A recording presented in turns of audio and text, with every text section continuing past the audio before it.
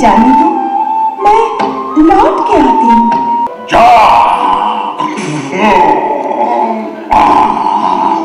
मैंने उसको वचन दिया है कि मैं तुझे देखकर और दूध पिलाकर लौट के उसके पास जाऊँगी तू चली जाएगी तो मैं किसका दूध पीऊँगी माँ मुझे रोको मत मुझे जाने दो। अपने वचन का पालन करने दो मेरे बच्चे।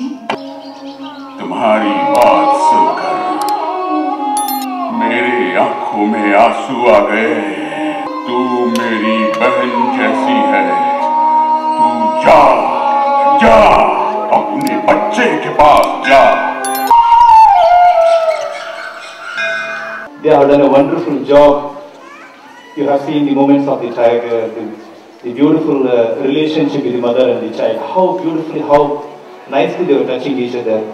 The only one statement I would like to make here is they don't, they don't need mercy, they need opportunity. When you display, we had a 50% of mentally challenged and 50% of physically challenged. It's amazing two different uh, schools coming together, the first steps for the mentally uh, challenged and the physically challenged Akshay Pratishthan.